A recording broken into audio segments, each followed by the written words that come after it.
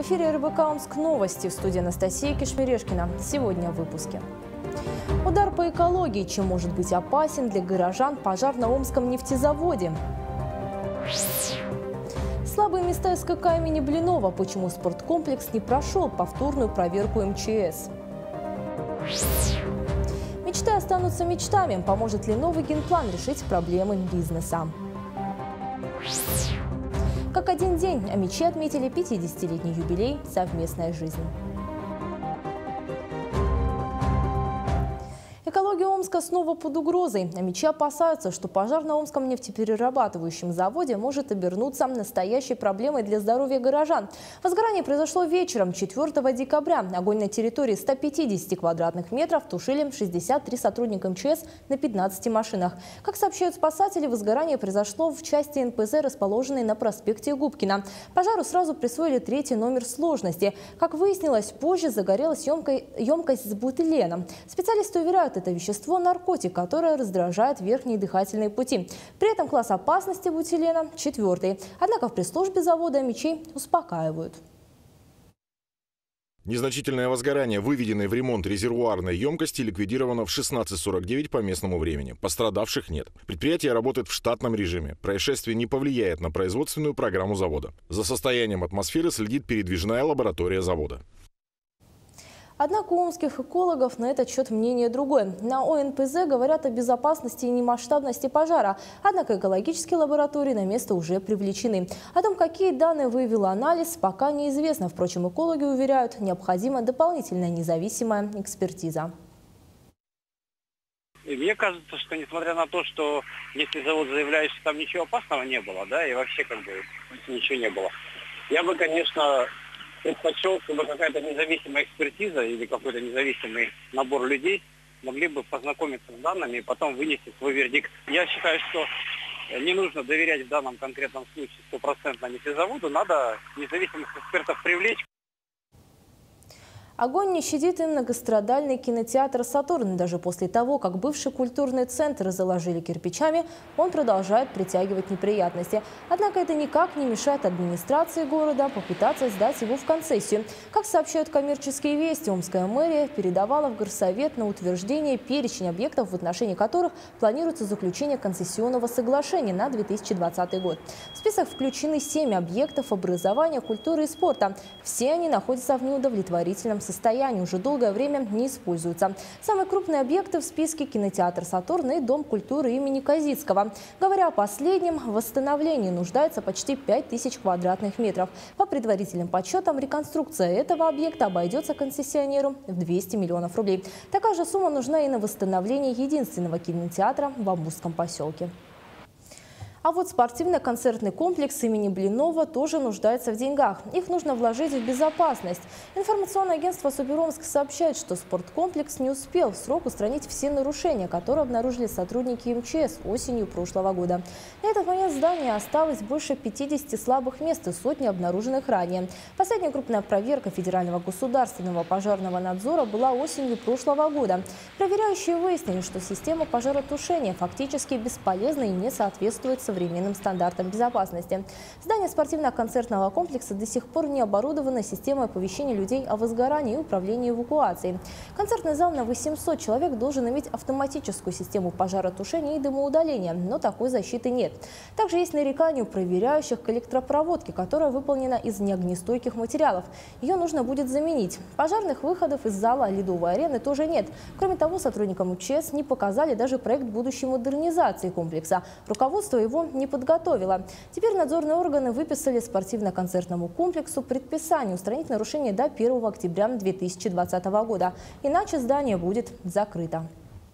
Новый генплан от красных линий бизнес не спасет. Такое заявление сделали чиновники из городской администрации. Речь идет об условной границе, которая определяет территории общего пользования, на которых местные власти планируют в будущем построить социально значимые объекты, например, дороги, мосты или метро, а частных участков. Иногда этой границей оказываются дома и офисы, а собственники зачастую знают об этом уже постфактум. После покупки недвижимости в итоге предприниматели не могут не застраивать свои земли, не реконструировать или расширять постройки. Риски, а поэтому лишаются возможности развиваться и привлекать инвестиции. И в такой ситуации оказались, например, владельцы зданий на территории, запланированных под строительством метрополитена. Ситуацию не меняет даже тот факт, что подземки в Омске – это уже официальное решение не будет. Чиновники объясняют, сделать ничего не могут. На бумаге эти земли общего пользования. И не факт, что в будущем они городу не понадобятся.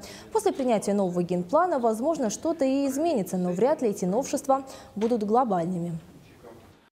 Это территория общего пользования, то есть это перспектива развития уличной дорожной сети. Когда она придет, все зависит от финансирования, правильно, от планов. Но мы не должны забывать а, основно о перспективе развития всего города. Да? То есть мы можем крест просто поставить и сказать, стройте везде, у нас не будет перспективных дорог, все, и точку поставили. То есть здесь, понимаете, э, на сегодняшний момент э, и законодатель говорит, все, что у тебя есть, пожалуйста, никто тебе не препятствует использовать свою недвижимость, приведите ремонт определенный. То есть препятствий-то нету. Презентовать мечам новый генплан обещают уже в феврале следующего года. Компания-разработчик обещает, несмотря на ограничения, например, по тем же красным линиям, постараются учесть мнение горожан. По словам чиновников, документ определит стратегию развития Омска на ближайшие 20 лет. Подробности пока не сообщают, но рассказывают, что изменения будут значительными. Среди нововведений в городе расширят дороги с 12 до 15 метров. Таковы требования федеральных стандартов. Но самые глобальные изменения произошли бы в Омске, если бы решился вопрос с новым аэропортом аэропортом. Однако пока его строительство официально не начнут, в генплан его вносить нельзя. Есть схема транспорта, схема развития транспортной инфраструктуры Российской Федерации. В этой схеме на сегодня существует аэропорт Омск-Центральный. Аэропорта Омск-Федоровка на сегодня в этой схеме нет. Если э, в течение разработки проекта в схеме транспорта Российской Федерации появится аэропорт Федоровка, значит это решение будет учтено в генеральном плане.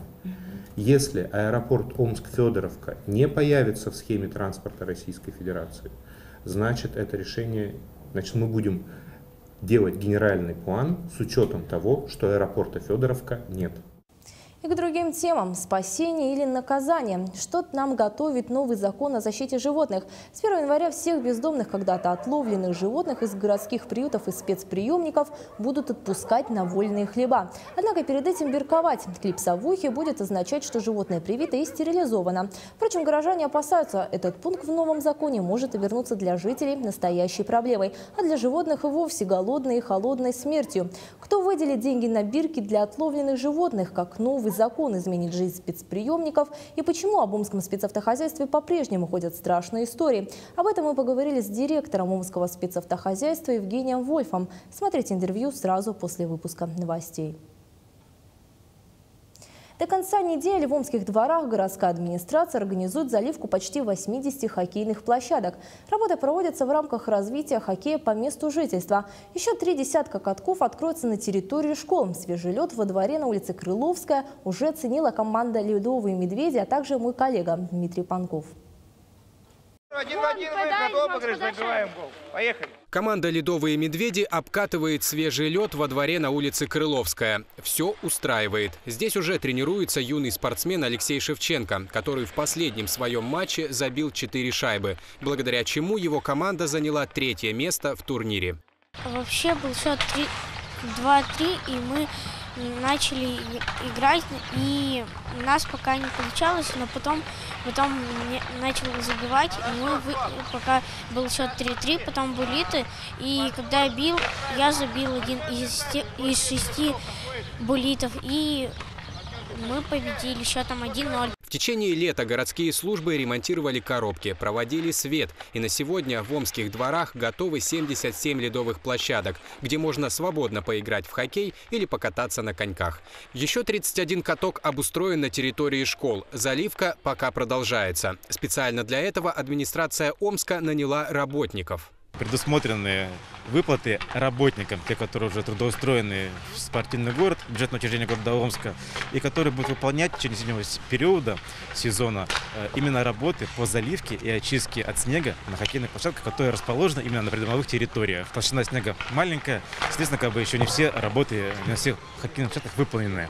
Но в дальнейшем, скажем так, эти работы будут завершены до 10 декабря планируется. Сезон дворового хоккея открыли в начале ноября. Заявилось почти 30 команд, более шести сотен детей и подростков. Практически каждую субботу и каждое воскресенье ребята будут встречаться. Это и э, городской турнир «Золотая шайба», и традиционные уже турниры памяти Александра Вьюхина, и э, турниры на призы глав, э, турнир большой, который идет уже тоже 4 года у нас на призы э, высоких технологий. То есть турниров много, они э, с хорошей цикличностью, то есть заканчиваем мы тогда, когда тает лед.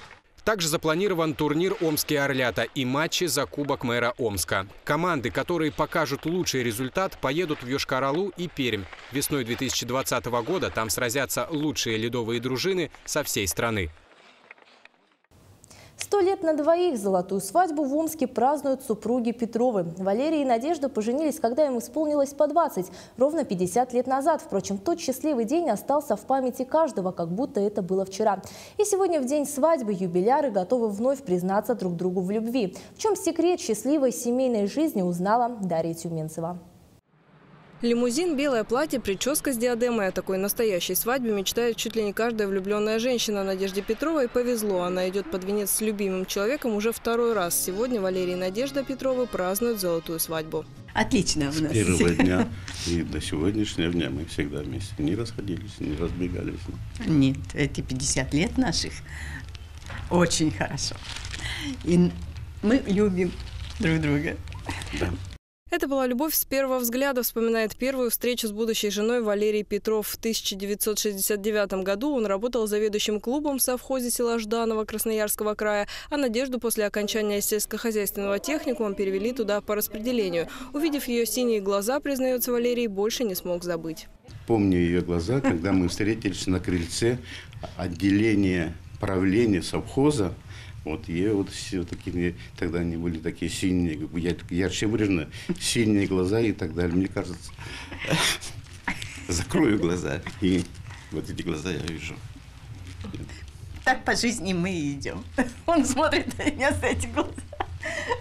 Спустя буквально полгода после знакомства влюбленные поженились. Комсомольскую свадьбу праздновали всем селом. Вскоре появился первый ребенок, сына. Глава семьи отправился служить в армию. Когда вернулся, перевез семью в Омск. Здесь родилась дочь. Сейчас Чита Петровых помимо двоих детей воспитывает четырех внуков. Восемь месяцев назад супруги стали осваивать новый статус прабабушки и прадедушки. У них появился первый правнук, которого назвали в честь прадеда Валерой. Пример мамы и папы вдохновляет, признается старший сын Петровых Андрей. Свою семью он решил строить по модели родителей и пока не сходит с пути. В счастливом браке с женой Еленой они уже 30 лет.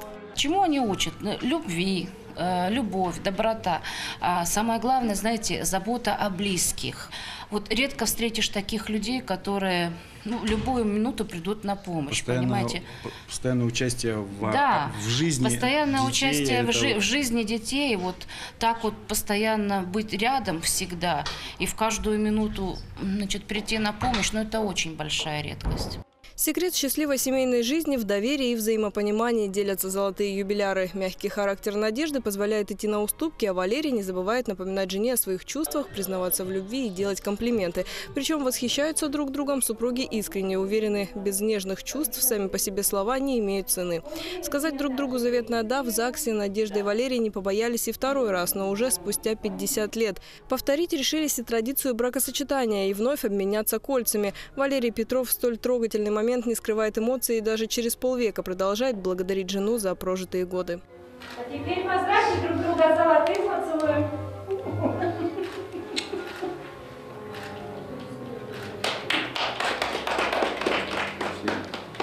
Сюрприз, торжественную регистрацию золотой свадьбы супругам Петровым подготовили дети. Теперь юбиляры планируют ответить, дожить уже до 50-летней годовщины детей, чтобы устроить настоящий праздник, а заодно и отметить свою благодатную свадьбу 70 лет совместной жизни.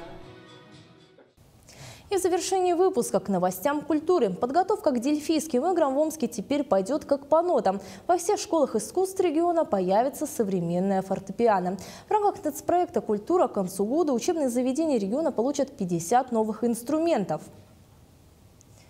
Первые музыкальные подарки доставили в детскую школу искусств имени Цыганкова и школу искусств имени Янкелевича, которая, кстати, в этом году отмечает столетний юбилей. Мария Васькова расскажет подробнее.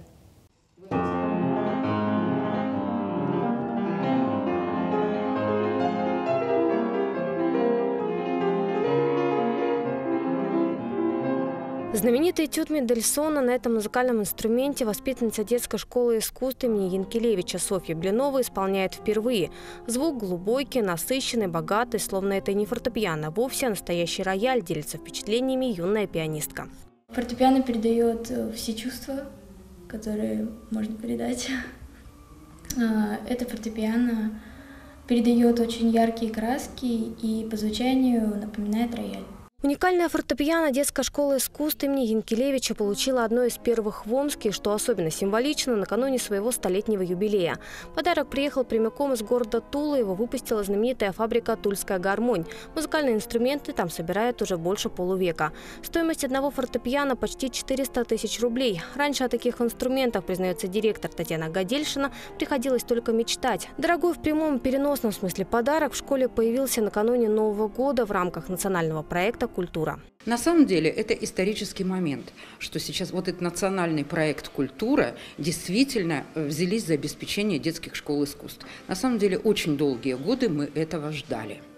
Сейчас я очень рада, что детские школы искусств объявили национальным достоянием России. Но это на самом деле так, потому что наше образование, оно уникальное, совершенно уникальное во всем мире. И это признано сейчас на уровне правительства Российской Федерации. Второе такое же фортепиано подарили детской школе искусств имени Цыганкова. Для воспитанников всего коллектива это настоящее событие. Большинство музыкальных инструментов здесь звучат уже несколько десятков лет. Они уже и морально, и технически устарели. Если вы заметили, он еще открыт.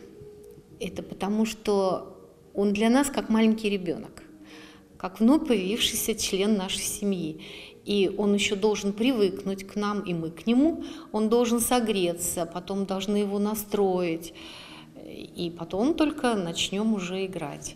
Думаю, что это будет счастье для многих детей в школе. Но главное, новые инструменты открывают перед юными музыкантами новые возможности, считает преподаватель Татьяна Бакланова. Может быть, кому-то из пианистов именно это фортепиано поможет выиграть дельфийские игры. Школа искусств имени Цыганкова, кстати, станет одной из площадок для самых престижных для музыкантов творческих состязаний. Они пройдут в Омске уже следующей весной. Ребятишки вот на примере этого инструмента узнали возможности другие, которые вот, э, бывают у, у любого пианино. Вот, допустим, средняя педаль.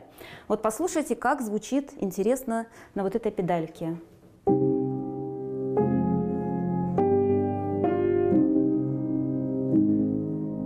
Пока в Омск доставили два новых фортепиано, но это только начало. Такие же музыкальные подарки получат и другие школы искусств региона к Новому году.